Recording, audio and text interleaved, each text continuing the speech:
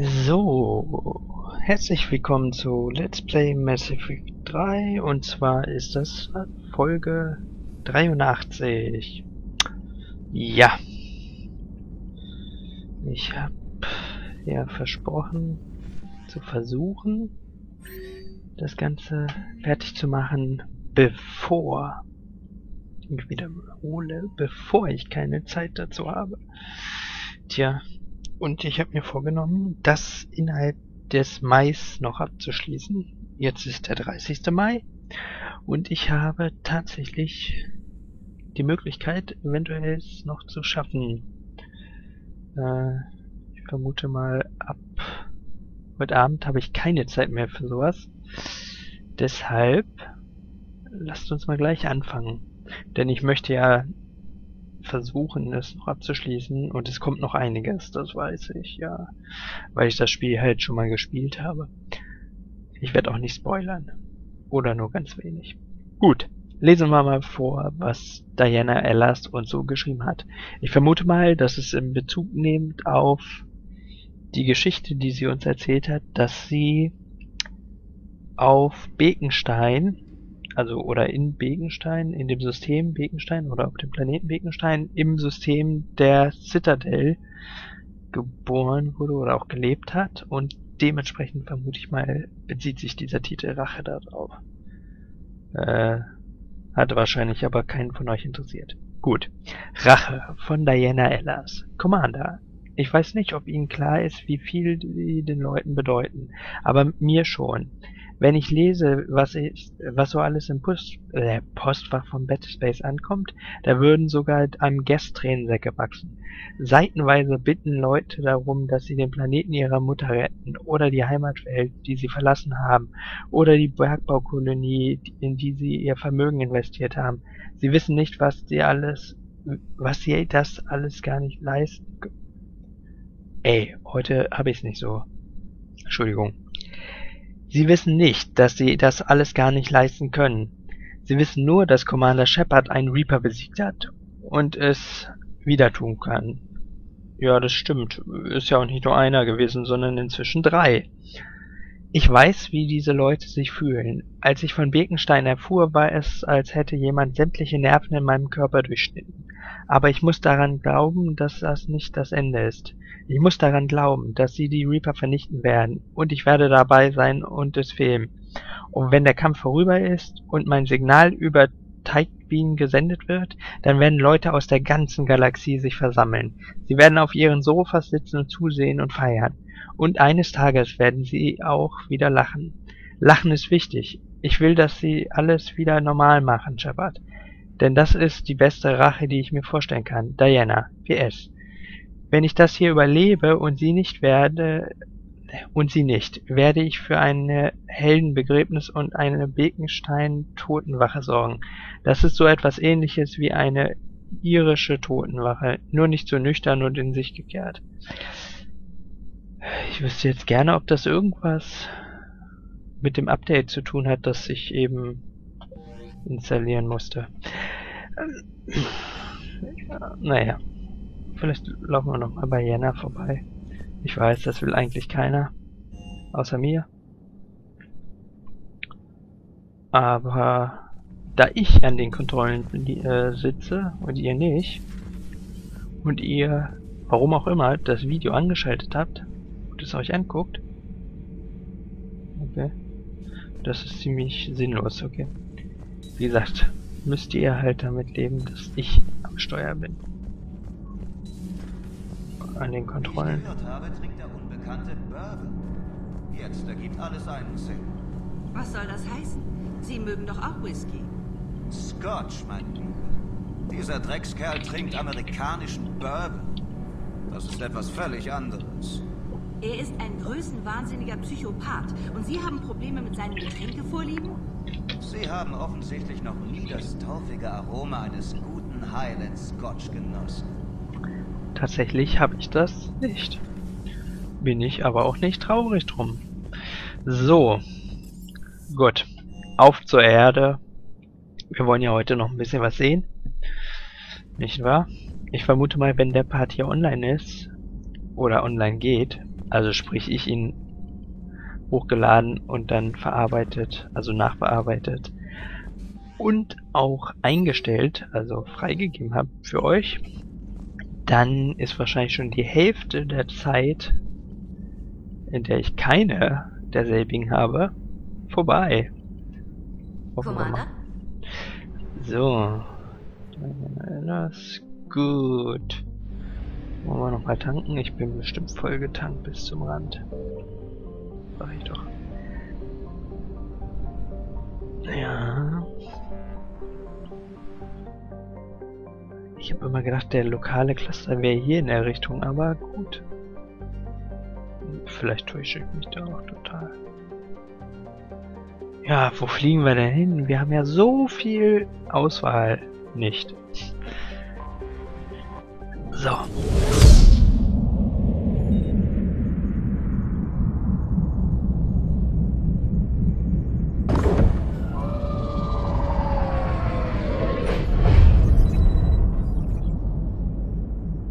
Commander, Prioritätsmeldung für Sie von Admiral Hackett. Er will an Bord kommen. Erlaubnis erteilt. Jawohl, Commander.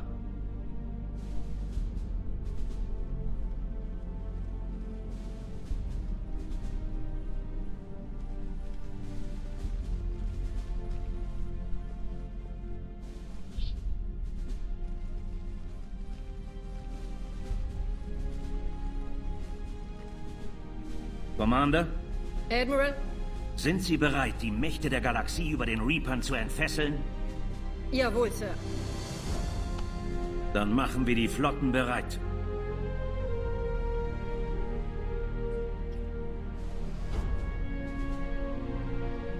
Alle Flotten machen Meldung, Sir.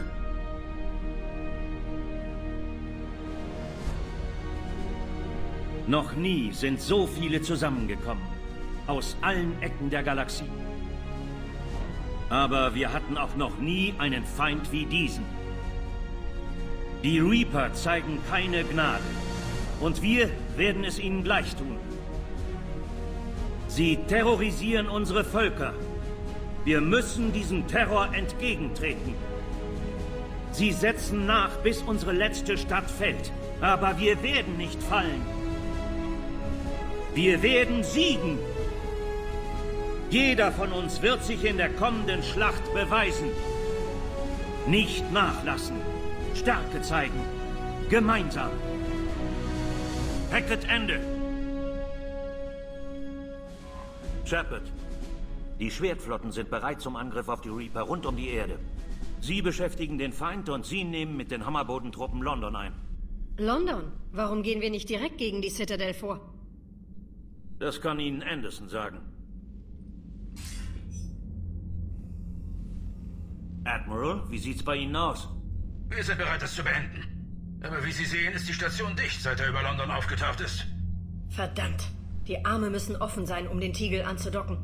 Ganz genau. Aber London ist umringt von Hades-Kanonen. Solange sie aktiv sind, können die Hammertransporter nicht landen. Sie führen eine Staffel kleinerer Shuttles an. Infiltration mit einem Bodenteam und dann schwere Waffen gegen die Kanonen. Hammer kann landen und wir richten eine vorgeschobene Operationsbasis ein. Ich sehe immer noch nicht, wie wir von London aus zur Citadel kommen. Die Reaper transportieren mit diesem Strahl lebende und tote Menschen zur Citadel. Von der VOB aus startet Hammer einen Frontalangriff auf den Citadel-Strahl. Jedes Team, das es soweit schafft, nimmt den Strahl zur Citadel und versucht die Steuerung der Citadel-Arme zu finden und zu aktivieren. Sobald wir die Arme sehen, eskortieren Abschirmflotten den Tiegel zur Citadel. Entscheidend ist das Timing. Wir haben nicht genug Feuerkraft, um den Tiegel lange zu schützen. So, jetzt hat das Rauschen auch wieder aufgehört. So, ähm, ich musste gerade das Mikro muten. Ich wollte euch die Bauarbeiten ersparen oder vielmehr die Geräusche während dieser epischen Zwischensequenz. Ja, und nach dem Aktivieren dauert es eine Weile, bis die Entrauschfilter wieder an sind. So, aber jetzt haben wir das und ja, dafür sind wir ausgebildet. So sieht's aus. Nichts ist einfach. Warum sollte das plötzlich anders sein? Ein Wahnsinn. Ich will unsere Chancen gar nicht wissen. Aber Aber es gibt keinen anderen Plan. Wenn wir warten, bluten uns die Reaper aus. Konventionell können wir sie ohne Tiegel nicht besiegen. Öffnen Sie die Arme, Commander. Um jeden Preis. Wir machen den Rest. Jawohl, Sir. Viel Glück. Für uns alle.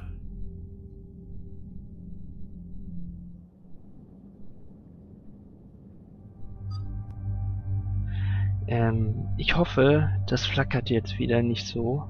Ich werde das nachher mal kontrollieren, ob das in meiner Aufnahme, im Grundaufnahmen ist. Ah, ja. Zur Not muss ich es anders rein. Für die letzten paar Parts nehme ich dann die längere Laufzeit mal in Kauf. Vielleicht. Vielleicht aber auch nicht. Das seht ihr aber, falls es hier gerade flackern sollte. Ähm, wen nehmen wir denn mit? So.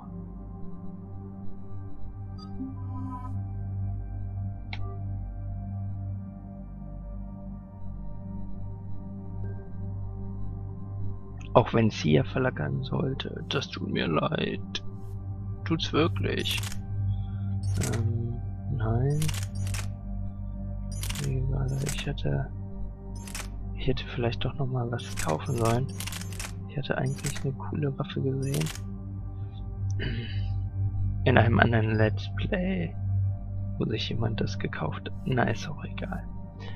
Zack, zack. Zack, zack. Was. Ist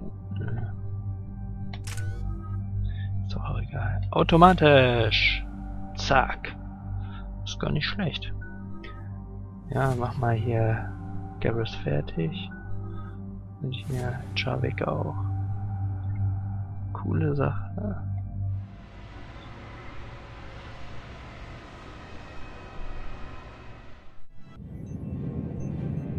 Nähern uns Sol-Portal, Commander.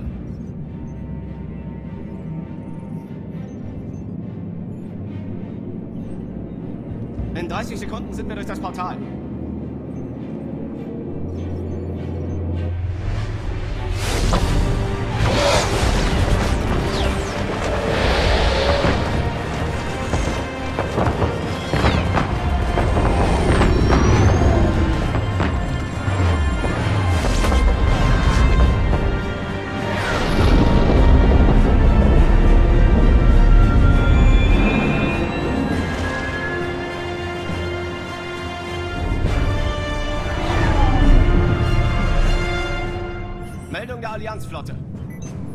Turianer.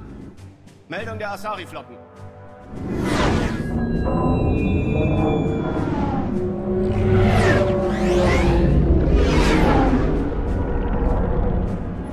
Marianische Flotten gemeldet und bereit. Meldung der Geth-Flotte. Alle Flotten machen Meldung, Commander. Bereit für Ihren Befehl zum Angriff.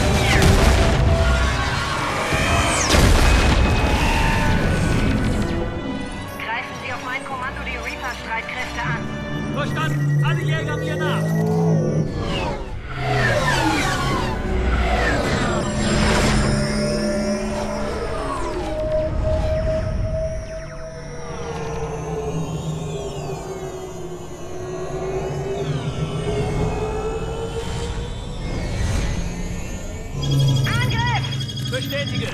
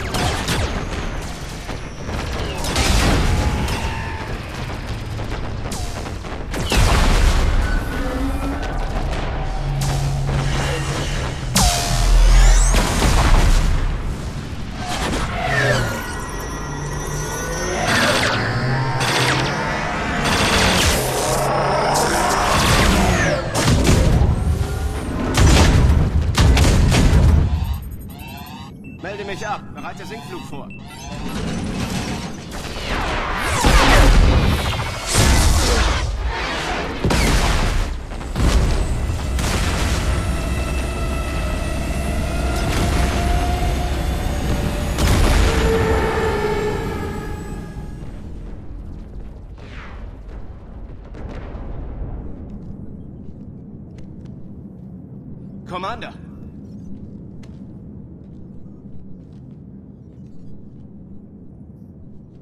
Vorsichtig da unten. Wird schon. Bleiben Sie wachsam. Zu Befehl.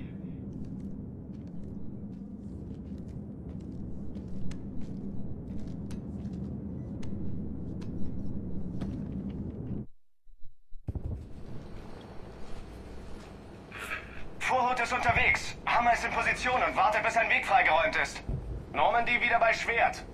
Viel Glück. Ich bin bald wieder zurück. Ich nehme Sie beim Wort. Normandy Ende. Wir nähern uns der LZ, Commander. Wie sieht's aus? Das ist die Hölle. Sehen Sie selbst.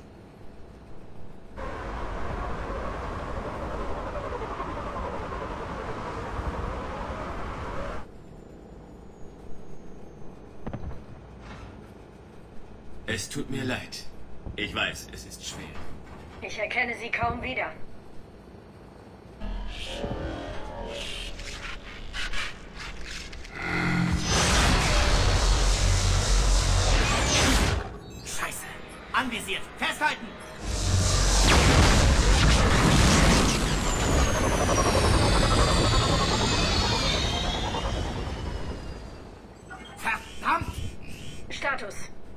War der Trupp, der das Verteidigungsgeschütz ausschalten sollte. Wer ist jetzt dran? Niemand in der Umgebung. Alle im Einsatz oder abgeschossen. Absetzen. Ma'am? Wir müssen das Ding ausschalten, damit Hammer landen kann. Verstanden. Planänderung, Leute. Wir werden diese Hades-Kanone ausschalten. Zu Fuß. Dürfte schwierig werden. Das abgestürzte Shuttle hatte bestimmt schwere Waffen an Bord. Perfekt. Sie haben es gehört. Wir begeben uns sofort zu dem abgestürzten Shuttle. Wir durchsuchen das Wrack nach schweren Waffen. Bin bei Ihnen, Shepard.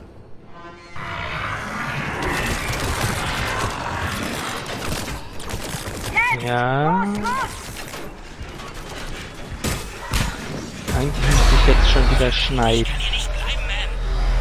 Kaum erst, holen Sie uns erst, wenn wir das Geschütz ausgeschaltet haben. Verstanden. Cortez Ende. Also gut, dann weiter.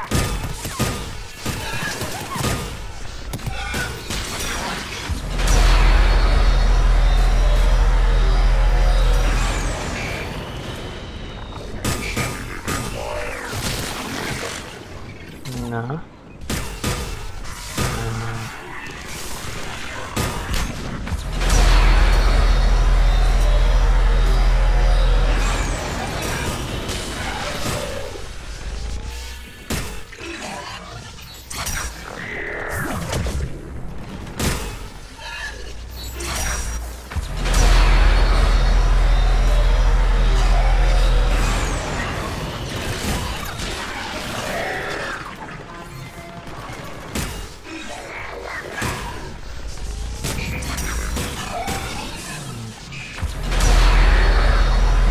Hoffe wirklich, dass das nicht von der Qualität zu schlecht ist.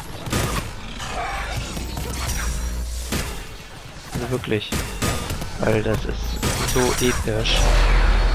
Ich stehe total auf dieser Raumschlacht. Ups, keine Munition.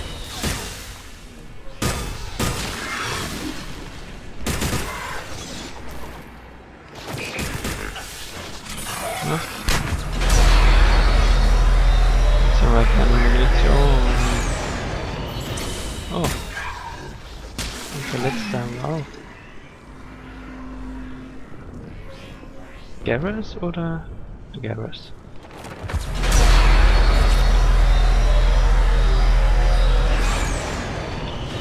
Ich müsste eigentlich mal schneiden. Aber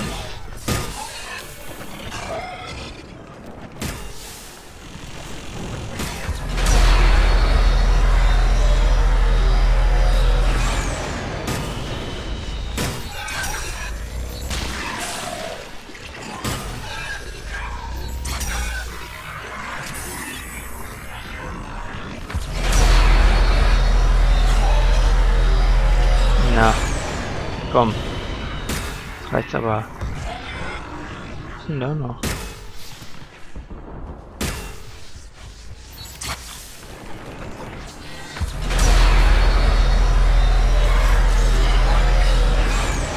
So? Immer noch nicht.